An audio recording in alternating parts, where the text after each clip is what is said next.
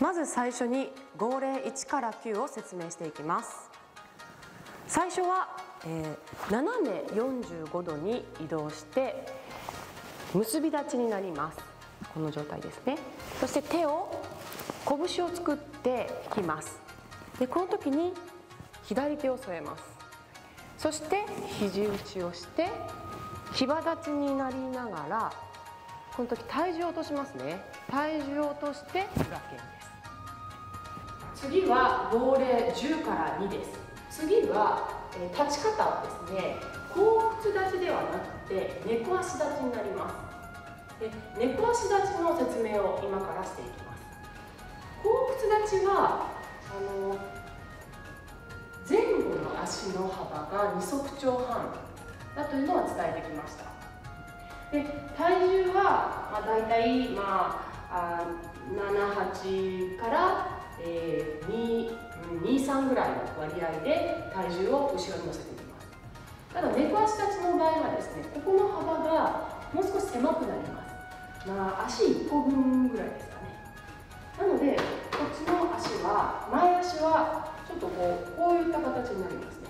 後屈だともう少しこのような形です。かかとが高くなります。で、幅は、まあ、足1本分ですね。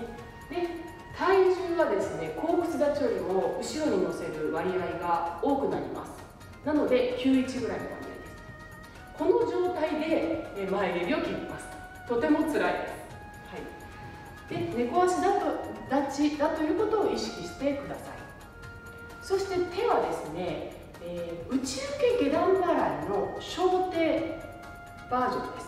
ね、で、ここからここで猫足立ちになりながら相手の攻撃を2つ2つの手で牽制しています。こっちのあの上の手だけではなくて下の手もきちんと相手の攻撃をグッと押さえつけてますから。グッ、ね、両手で押さえつけていくで内受け下段払い、ね、ここを意識してください。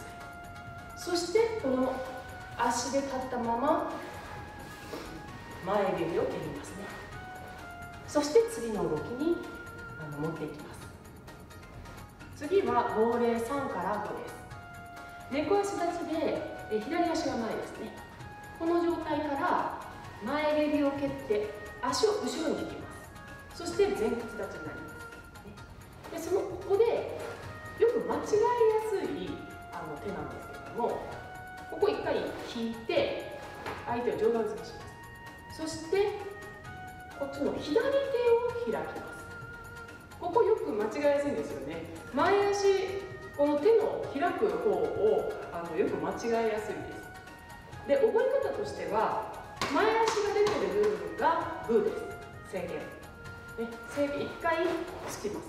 こうしっかりあの体重として、ね、こう手だけで腰を動かさないでこうやるのではなくてしっかりこう、ね、腰を入れましょう。で手を開きます。でこの時は足が前の方をグーにしてでこの時に手をですね大きく開いてここでガツン、ね、あの相手の頭をグッと攻撃しているというイメージですね。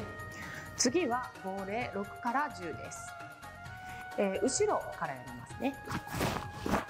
相手の頭をドン打ってから相手の足を払いながら払ってですね鉄槌をします。ドン。そして相手の髪をぐっと掴んで引き込んでで相手の顔かそして体ですね、えー、溝落ちを狙ってぐっと打ちます。でこの時のポイントなんですけれどもしっかり上から鉄を用意しましょう。これはやはり攻撃ですのでもうポンってやるのではなくてしっかり体重を振り返って下に落としながらドンと打ちます、はい、そして、えー、勝ち割りながらさらに頭を掴んでまた打ちますね。そして反対も同じです。ここはちょっと手が難しいのであえてゆっくりやりますか。こういう状態ですね。ゆっくりやるとこういうで上からまた振り下ろしてで、えー、痛いですね。で掴んで突き。で、えー、と最後までやってしまいます。はい、はい、つたつきまでやりましたそして今回つきます。前屈立ちで。ついて相手を巻き込みます。相手の体を巻き込む巻き込んでまた手刀で下付きですね。